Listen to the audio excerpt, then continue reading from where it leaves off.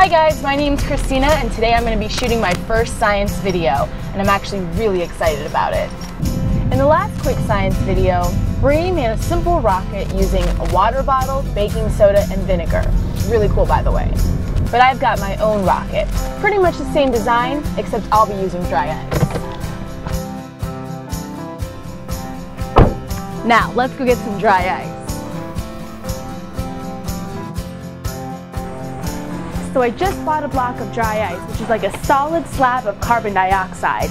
Now, let's go ignite some rockets. Do you know why they call it dry ice? It's because it doesn't melt. It goes from a solid to a gas through a process called sublimation. So now we're gonna break up the dry ice, and you want the pieces to be small enough that they fit in the funnel.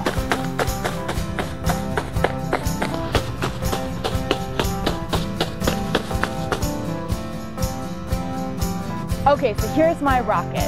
It's just a simple two liter bottle. Hey, it's my first science video, okay? Actually, the reason I don't want anything fancy is I don't want any fins or cone weighing it down. I actually want to see how high it'll go up without all that weight. When doing this, you only need a couple pieces of dry ice. If you put too much on there, you're not going to have enough time to put the cork in, set the rocket, and get out of the way. Please, don't forget your safety goggles. All right, I'm just gonna stick these in here. You can see it's already reacting. Put the cork on.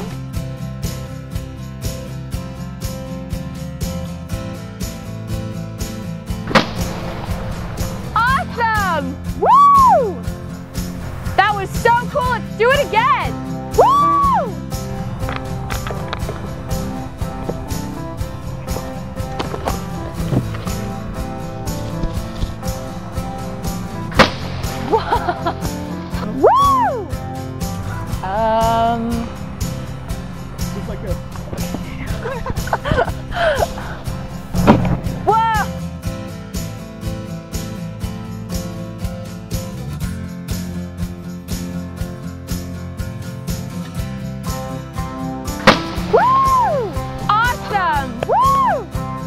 Well, I can't get that down. I guess that means the experiment's over. Thanks for watching today's episode of Qwik Science.